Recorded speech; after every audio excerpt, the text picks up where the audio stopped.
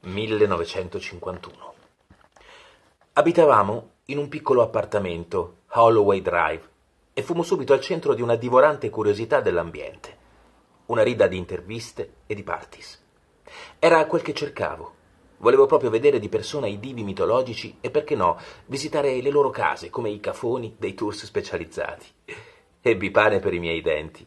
La seconda o terza sera andammo a un dinner di Tyrone Power e Linda Christian. Una villa sfarzosa di stile messicano. Ogni ospite era come minimo un Joseph Cotton o una columnist da 6 milioni di lettori o un tycoon come Fitzgerald. Fui presto reso edotto degli usi vigenti in quella Hollywood e seppi che le aggregazioni conviviali erano rigidamente regolate dal censo.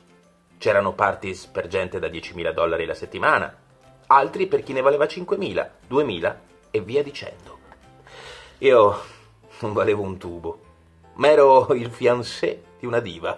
Venivo da Roma e il mio broken English, che d'altronde cresceva di giorno in giorno, mi confinava a un vocabolario di parole astratte, che suggeriva una remota cultura arcaica e una mostruosa e schiva intelligenza.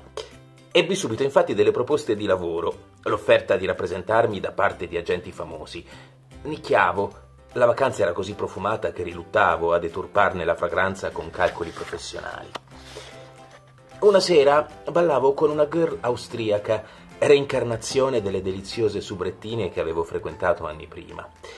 I miei combattuti sentimenti trovavano fra le sue braccia un così tiepido porto che, che trascurai l'ingresso di Ava Garner, accompagnata da un paio di segretari e da un paio di guardie del corpo.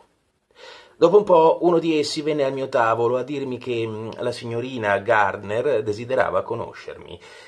Feci con lei due chiacchiere e un ballo distratto, con l'occhio sempre alla mia austriaca, accaparrata da un industrialotto meridionale. La riscattai appena finito il pezzo con la Garner, cogliendo un lampo di sorpresa negli occhi bellissimi della diva. Tant'è. L'attrazione fisica batte itinerari tutti suoi, o se preferite, l'organo maschile non conosce gerarchie.